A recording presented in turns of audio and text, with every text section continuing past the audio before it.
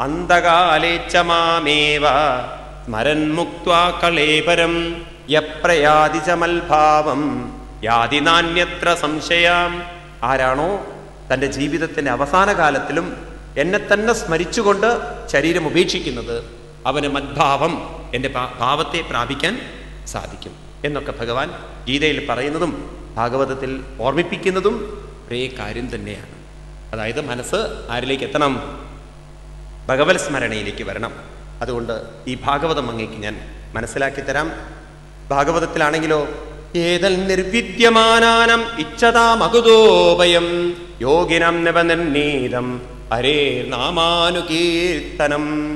ഇത് തന്നെയാണ് ഈ ഭാഗവതത്തിലൂടെ ഏതൽ നിർവിദ്യമാനാനം ഏതെല്ലാം മേഖലയിൽ പ്രവർത്തിക്കുന്നവരായാലും ഏതെല്ലാം ജോലികൾ ചെയ്യുന്നവരായാലും ഇച്ഛതാമകുതോ ഭയം അതാത് മേഖലകളിൽ നിന്നുണ്ടാവുന്ന ഭയത്തെ അവർക്ക് നേരിടണമെങ്കിൽ നിർണീതം യോഗിനാം മഹാത്മാക്കളായിട്ടുള്ള ആളുകൾ നിർണയിച്ചു വച്ചിരിക്കുന്നത് ഹരേ നാമാനുകീർത്തനം. മനസ്സ് ആരിലേക്ക് തിരിയണം?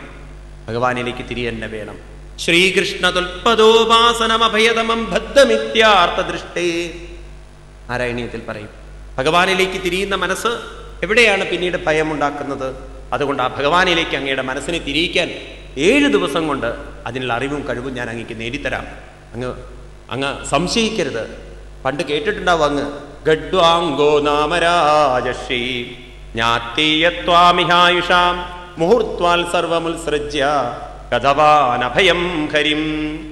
പണ്ട് ഗഡ്വാങ്കൻ എന്ന് പറയുന്ന ഒരു ചക്രവർത്തി ഉണ്ടായിരുന്നു. ശ്രീരാമസ്വാമിയുടെ കുലത്തിലുള്ള ഒരാളായിരുന്നു.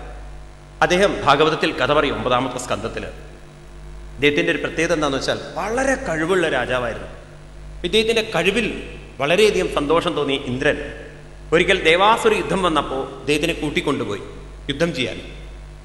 അങ്ങനെ അഞ്ചാറ് ദിവസങ്ങൾ ഉറക്കൊഴിഞ്ഞുകൊണ്ട് യുദ്ധം ചെയ്ത് അസുരപ്പടയെ തോൽപ്പിച്ചു വളരെ പ്രീതനായ ഇന്ദ്രൻ ചോദിച്ചു രാജൻ ഇനി അങ്ങ് വിശ്രമിക്കൂ. ഇവിടെ കുറച്ചു കാലം താമസിച്ചിട്ട് പോയാൽ മതി. ഇവിടെയാണെങ്കിലോ ഫൈവ് സ്റ്റാർ ഹോട്ടലുണ്ട് പിന്നെ ഡാൻസ് ക്ലബ് ഉണ്ട് ഉർവശി ഉർവശി എന്നൊക്കെ പറഞ്ഞ കുറേ ആൾക്കാരുണ്ടല്ലോ.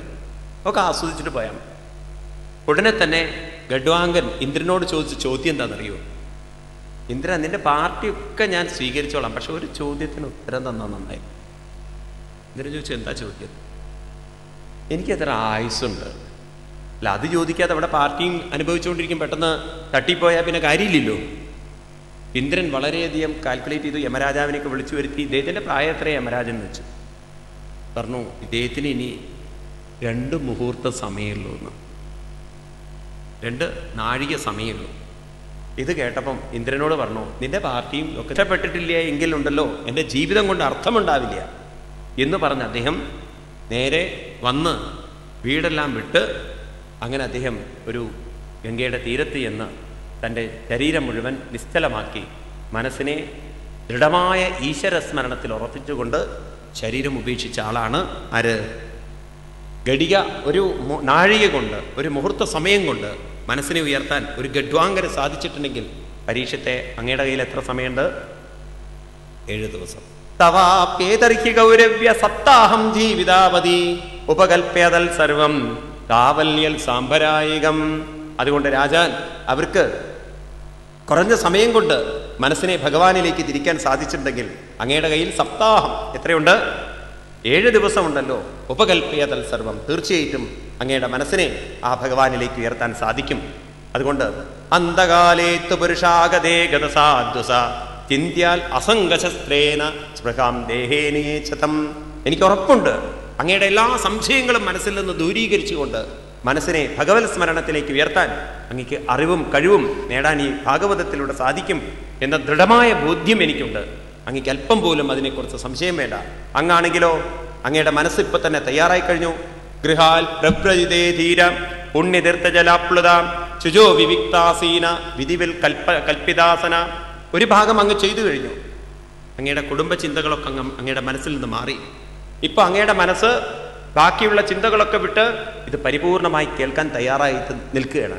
ശ്രദ്ധയോടുകൂടി നിൽക്കുകയാണ്. അതുകൊണ്ട് അഭ്യസേൻ മനസാ ശുദ്ധം. ത്രിവിൽ. ബ്രഹ്മാക്ഷരം വരം മനോ യച്ചേ ബ്രഹ്മബീജമവിസ്മരൻ. ഇനി പറഞ്ഞു കൊടുക്കുകയാണ്. ഇനി അങ്ങയുടെ മനസ്സിനെ ഏകാഗ്രമാക്കണം. അങ്ങ് ആ ഏകാഗ്രമായ മനസ്സുകൊണ്ട് ഭഗവത് സ്മരണത്തിലേക്ക് കൊണ്ടുവരണം. മനഃകർമ്മവിരാക്ഷിപ്തം ശുഭാർത്ഥേ ധാരയേദ്യ ദിയ. നിയച്ചേ വിഷയേഭ്യോക്ഷ്മാൻ.